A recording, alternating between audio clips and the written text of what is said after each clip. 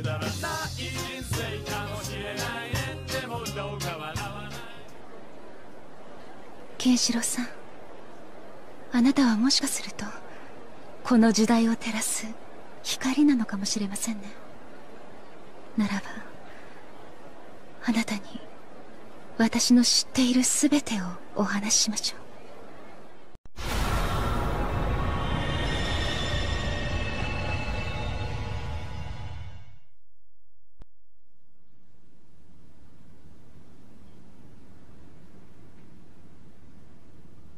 どうやら長い間視覚を失っていたようだ。さらわれた後に一体何があったんだアイリなぜ光を失ったんだ。教えてくれ。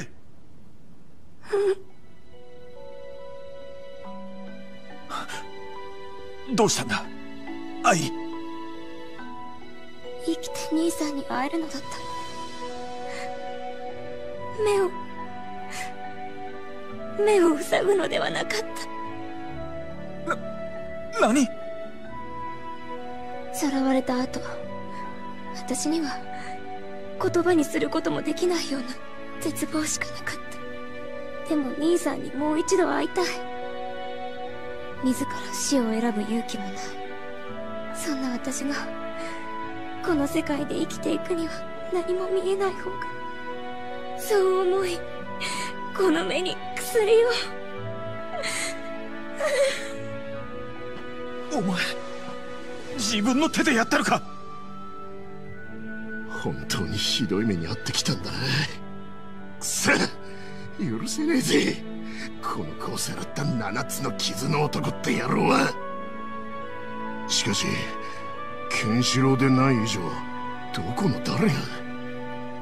アイリさんその七つの傷の男の顔は覚えているのですか？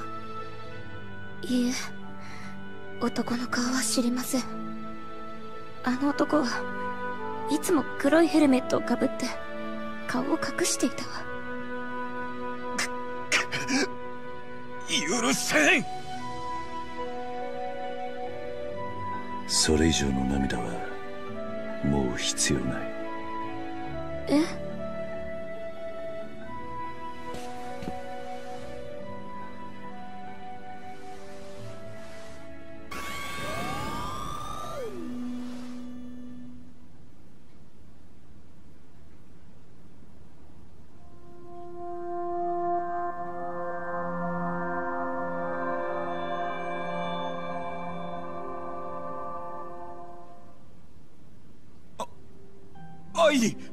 その目は。まだぼーっとだけど。見えるわ兄さん。ケンシロウこれは。賢明という飛行をしておいた。いずれ全ての光が蘇るだろう。本当か？たこの目で兄さんを見つめられるなんて。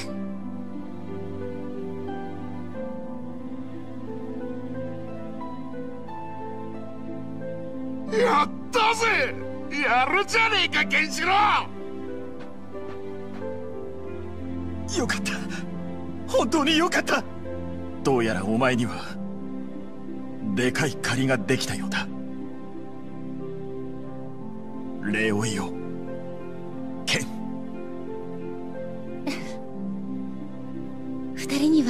積もる話もあると思うの。私たちは外に出てましょうか。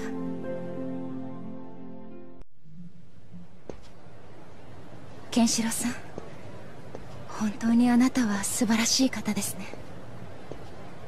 では今度は私があなたとの約束を果たさねばなりませんユリアの話聞かせてくれ。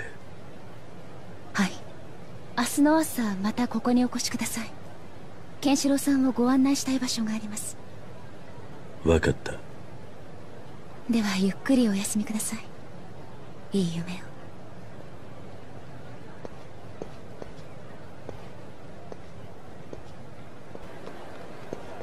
大した野郎だな。お前は今日を撃退しちまうしあのカサンドラだってたった一人で陥落しちまうんだからよお前やっぱ最初から違うなって思っていたんだよ。俺の目に狂いはなかったぜ。あどうしたよケンシロウ俺もかつてレイと同様一人の女のためだけに生きていた。俺はある男に婚約者ユリアを奪われた。そのユリアをこの手に戻すためだけに俺は生きた。だが死闘の末ユリアの行方を分からず残ったものは例えようのない孤独だけだった。くん それも今日までだって。明日には貴様がお前の知りたいことを教えてくれんだろ。だったら今日は俺の酒に付き合え。全部俺がおごってやるよ。いろいろとてめえには世話になったからな。病み上がりだろう。今日はおとなしく。帰って寝たらどうだ？こんな時代だぜ。祝る時に祝わないでどうすんだよ。ほれジャグレ様についてこい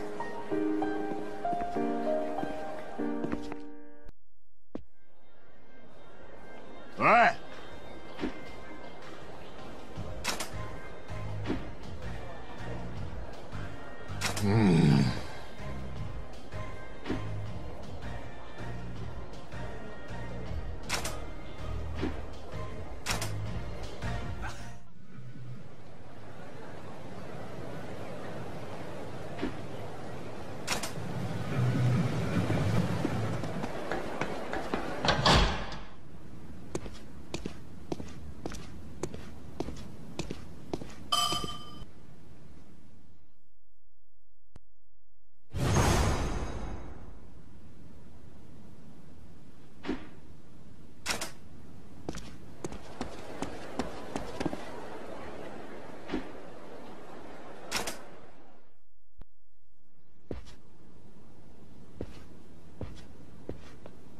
お待ちしておりましたケンシロウさん。どうぞこちらへ。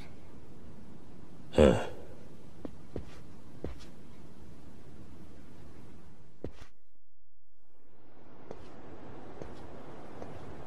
このスフィアシティの中にユリアさんはいます。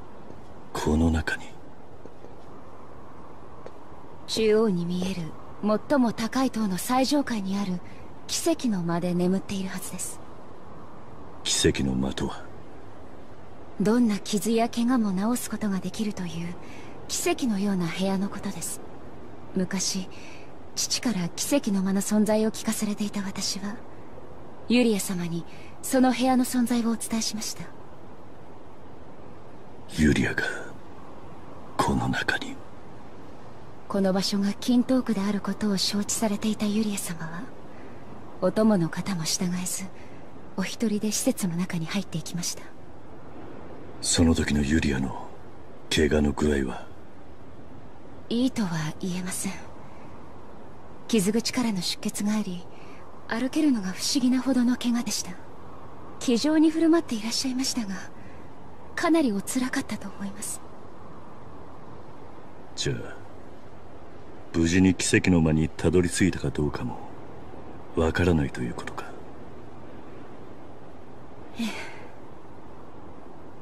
こんなことしかお伝えできず申し訳ないです。ありがとうキサナ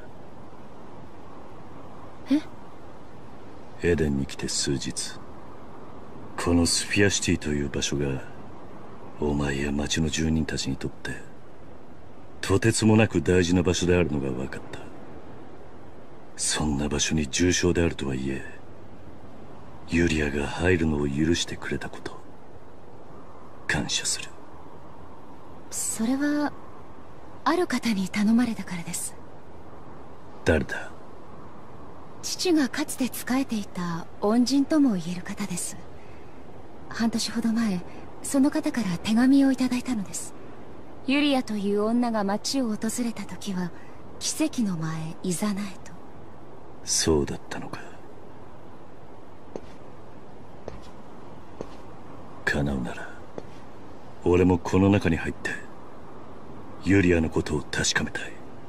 ユリア様がスフィアシティに入っていった数時間後この扉は閉まりました。おそらく何かしらの装置が作動したためだと思います。扉を開けることはできないのか？残念ですがそれはできません。私にも方法がわからないのです私が扉が開く様子を見たのは過去に一度しかありません。一度？父が母を殺したあの日に一度だけ。何？お父さん！お母さん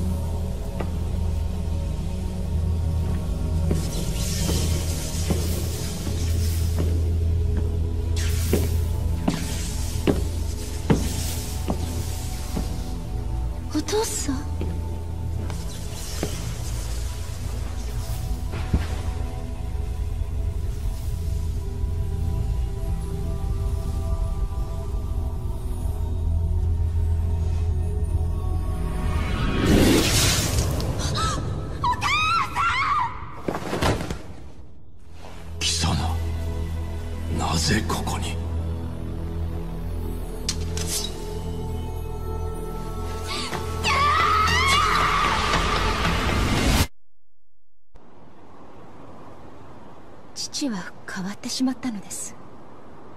スフィアシティの資源を独占するため邪魔なものを排除していった。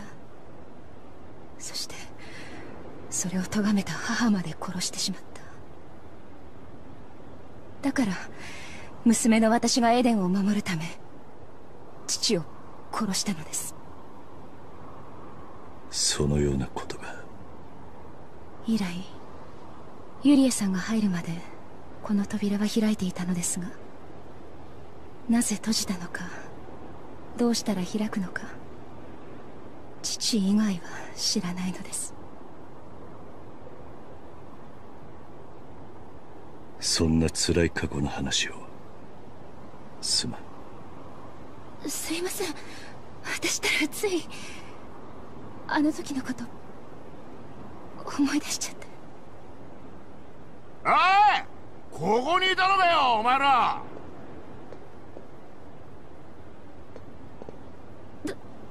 どうしましたか？ジャグレどうしたかじゃねえよ。相棒の俺を置いてくなんてひどいぜ。重要な話してる時になんで俺を仲間外れにすんだよ。お前はいつ俺の相棒になったんだ？おいおいケンそりゃねえぜ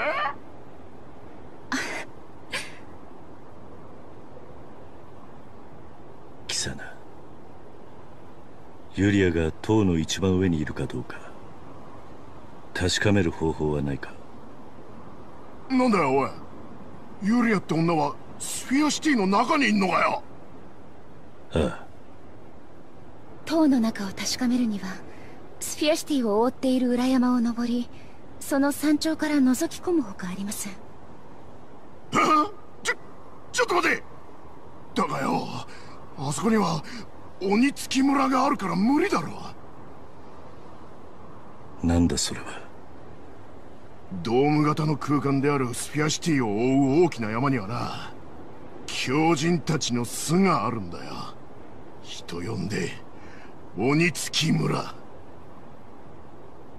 鬼付この地方では昔から人が突然強靭化する風土病があると伝えられています一度その病にかかると感染者は人の心を失ってしまう。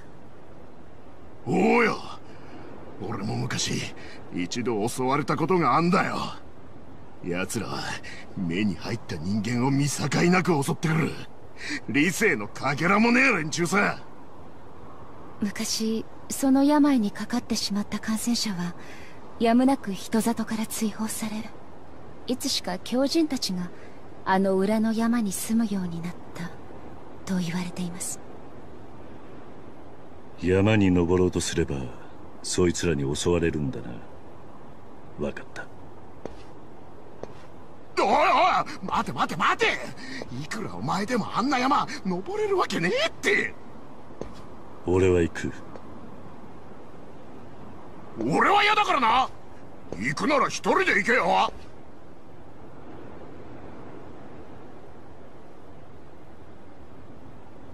ジャグレ？あなたケンシロウさんの相棒ではなかったの？え？でだからなんだよ？あなたはここ一帯の土地勘には長けているはず。ケンシロウさんを案内してあげてください。おいおいいくらお前の頼みでも聞ける頼みと聞けねえ頼みってもんが？なでは友人としてではなくエデンの統治者としての命令では？ジャグレ衛兵隊長殿？友人？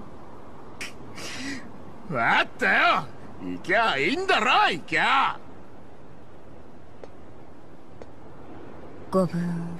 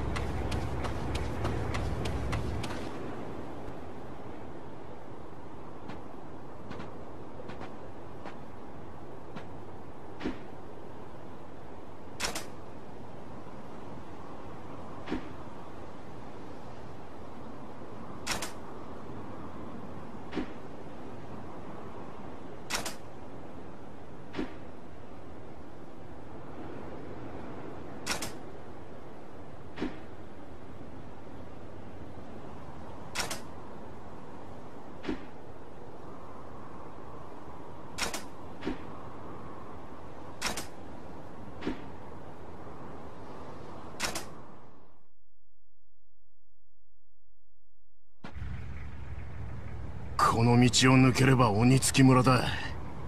ここでも十分薄気味悪い場所だけどな。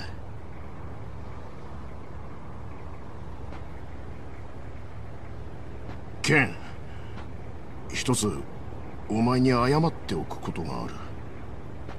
なんだ？実はな俺がいつも持っているショットガンなんだがぶっ壊れちまって今修理に出してるんだ。だからどうした？わからねえか？鬼月に襲われても俺は何もできねえかもしれねえんだよ！なら案内はここまでで十分だ。一旦引き返すぞ。ま待てバカ野郎！ここまで来て今さら引き返せるか？貴様に顔向けできねえ！何よりあいつに言う男らしさを。いや何でもねえ。ととにかく俺は何が何でもお前を案内する。さっさと車打ってしやがれ。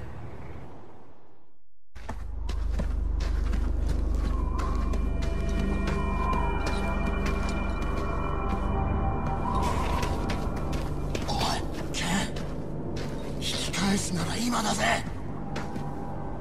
怖いのか？どれが怖いだ俺はエデン隊長のジャグレ様だぞ。何が出ようがってようが頭引っこ抜いてお手玉してやるよ。ってなんだくそ石でも踏んじまったか？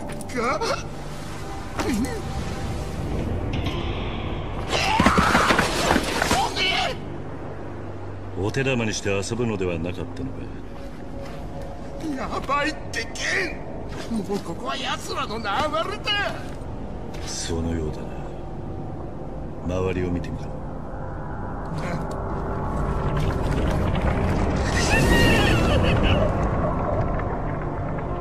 ジャグラー俺から離れるな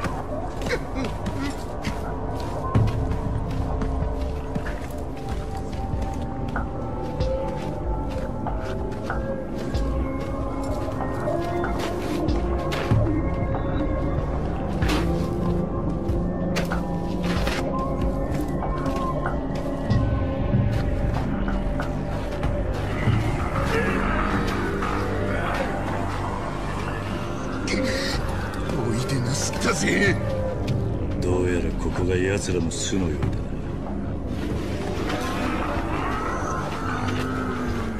俺の後ろにいろ。ジャグラーおいケン！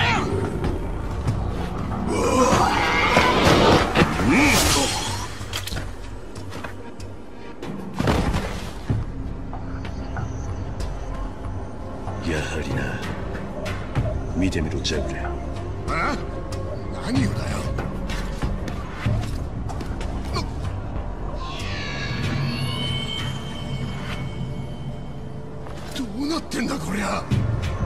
説明は後だ来るぞ。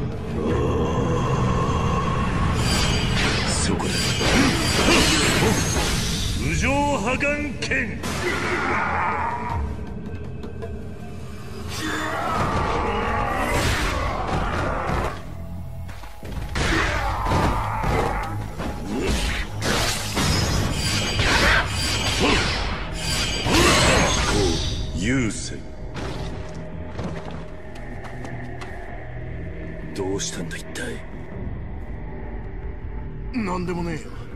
すまなかったな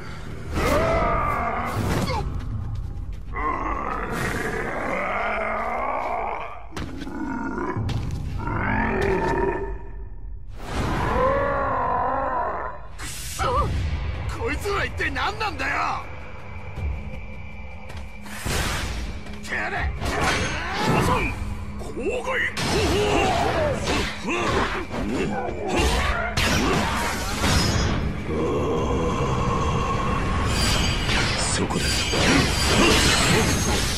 無情破顔剣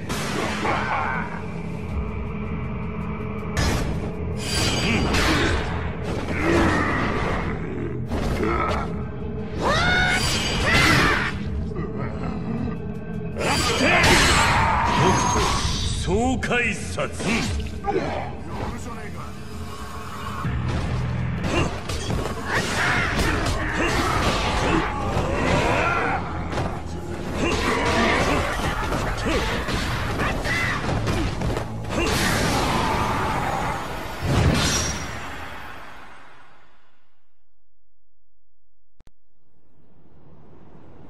がとう。あケンシーさん。説明しろよケンこいつらはどうしてこんな。この鬼付きたちはこの前のお前と同じく今日の剣を受け心を壊された人間たちだ。なんだって？どういうことだ？つまりここにいる鬼付きたちの正体は明と騎英剣でやられた者たちの末路。じゃあもしあの時俺も手遅れだったら。ああ今頃お前もこうなっていただろう。想像するだけでゾッとするぜ。ジャグレ先を急ぐぞ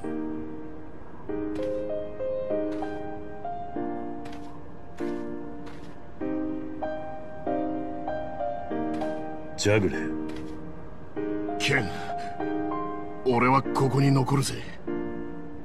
何？俺はエデンの衛兵隊長だ。俺たち衛兵隊がもっと早く巨王を倒していればこいつらは鬼付きにならずに済んだかもしれねえ。そう思うとよ。なんかすげえやりきれねえんだだからせめてこいつらは俺の手で埋葬してやりてんだよ。ジャグレ心配すんなって。ここら辺の鬼付きは多分剣が全部倒してくれたしよ。それにこいつらが生きてたって証を作ってやりてんだ。分かった。俺は山頂へ行く。下山の時ここで合流しよう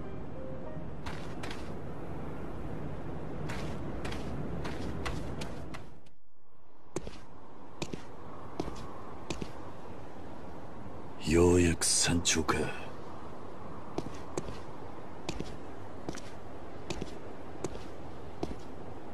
驚いた。まさか鬼月村を抜けてここに来る者がいようとは。何者だ？この山で生きる者だ。鬼月の集落を通らずにここへ来る道を知っている。ここで何をしている？山の主として秩序を壊す者を排除しに来た。何をする？愛する娘キサナのため。死んでくれ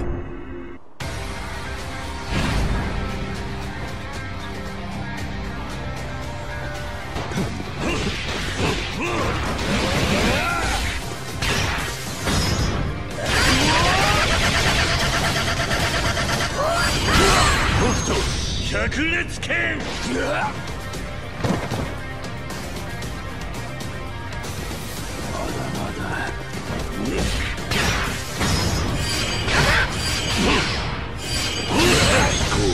優勢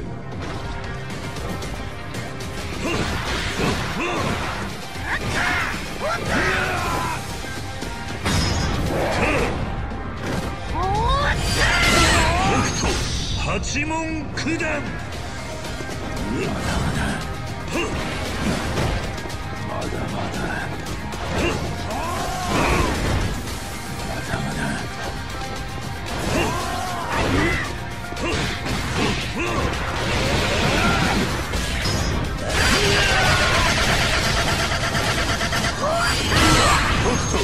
百裂剣